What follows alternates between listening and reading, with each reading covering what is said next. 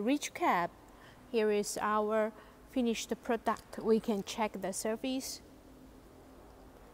It's very, very flat, super clean without any scratch. And you can check. Very flat.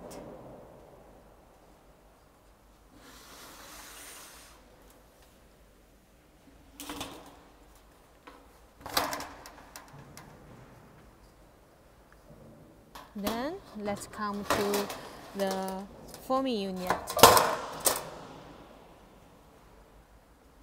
Firstly, we can see here is a hydraulic cutting unit. It combined with four cylinder to make it more stable and to improve the user life of it. And the cutting blade, we can check is very thick. We used the wheel material and here we add the the small press roller to press these side to make them more tight. Then let's come to the forming unit. Uh, the forming unit it combined with steel panel stands and the chain transmission. The thickness of the steel panel is 18 millimeter and under this cover box it is the gear to uh, help the through come uh, help the material go through the form unit. And here is the feeding table. And we could adjust the sheet by this screw tube just adjust the screw here we could adjust the screw to adapt the different uh, to adapt the material widths.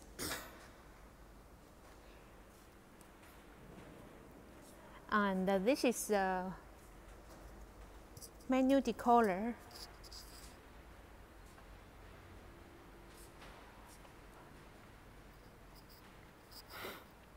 For this unit we add one set is for the film lamination.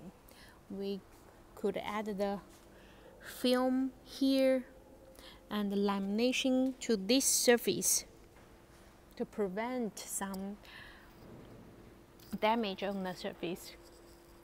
And under this cover box, it is the chain transmission. The chain, we all used the Japan brand Choho. And the motor, we hide under the tube, the body structure tube to save the space. And the operation cabinet, we adapt with portable one.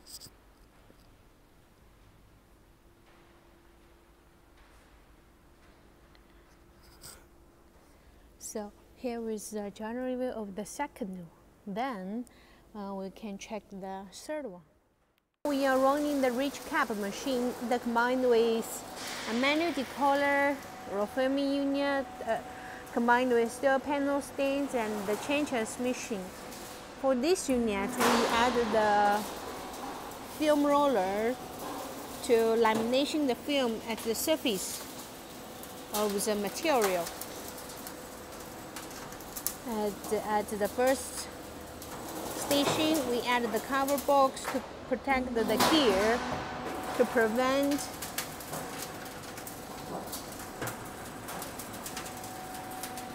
the worker. And then we can check the forming unit. We can check the forming step by step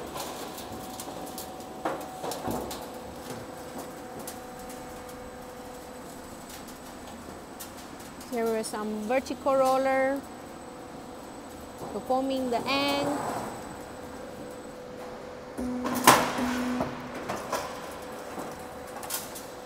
On the cutting unit, combine the, the four cylinder to make it more uh, stable.